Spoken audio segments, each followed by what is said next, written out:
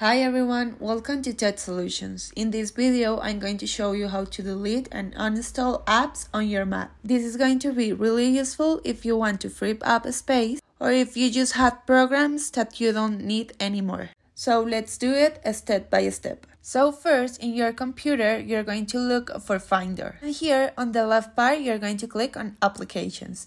Here, all the applications of your computer will appear. So you just have to look out for the application that you want to delete. In this case, I want to delete these Google Sheets that I don't use anymore.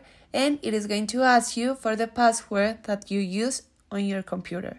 So you just have to type your password, click OK, and then the application is going to be deleted. To fully delete it from your computer, go to Trash, and here you're going to find the application. You're going to click on Empty and then click Empty Trash.